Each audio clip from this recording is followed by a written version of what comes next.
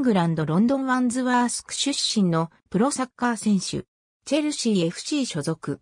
ポジションは FW。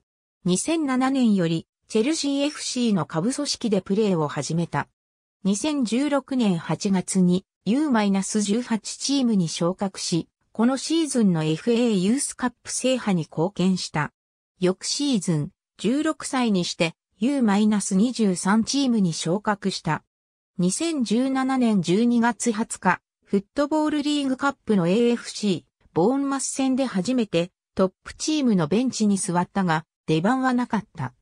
2018年1月28日、FA カップのニューカッスル戦で81分に、ペドロとの交代で途中出場、念願のトップチームデビューを果たした。1月31日のボーンマス戦で、プレミアリーグ初出場、翌シーズンの L のグループリーグポック戦でトップチームで初ゴールを決めた。その出自からガーナ代表としてプレーする権利も有しているが、一貫してイングランド代表に選出されている。2017FIFA U-17 ワールドカップでは7試合に出場し1ゴールを挙げ、大会制覇に貢献した。2019年3月、UEFA ユーロ2020予選に挑むイングランド代表に初招集された。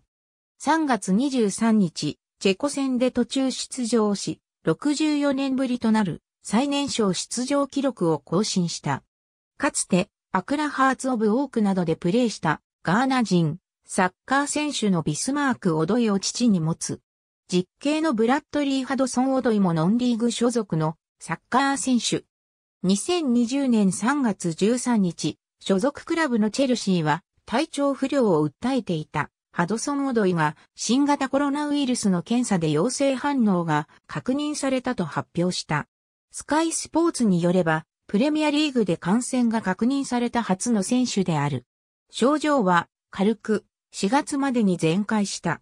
ありがとうございます。